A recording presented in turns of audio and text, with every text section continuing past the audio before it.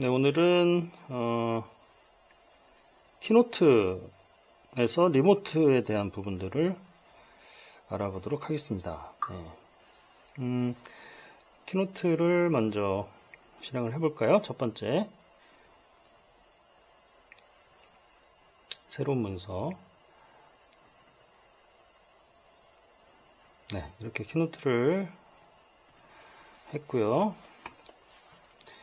여기에서 재생을 눌렀을 때 이 재생에 대한 제어를 어, 아이폰으로 하고 싶다. 이럴 경우죠. 환경 설정으로 일단 들어가고요. 여기에 리모콘이라고 있습니다. 위에 보면 활성화를 누르게 되고요. 자 그럼 여기에 활성화가 된 리모콘이 떠야 되겠죠?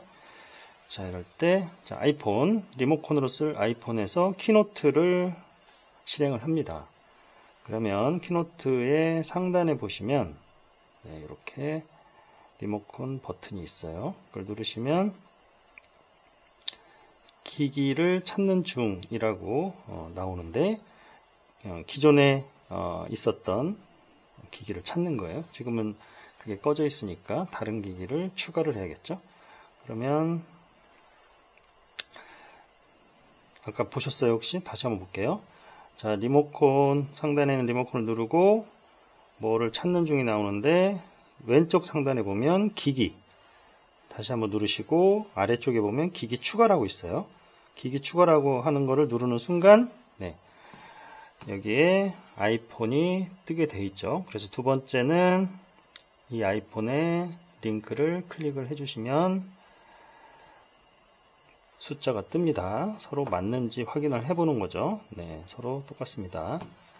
여기서도 계속을 누르든지 확인을 누르든지. 네. 자, 그러면 리모컨에서 재생 버튼이 뜨네요. 자, 그러면 설정을 나가고 재생 버튼을 눌러 보겠습니다. 음, 잘 되죠? 네. 이상으로 맥북과 아이폰 리모컨 연결을 알아봤습니다. 고맙습니다.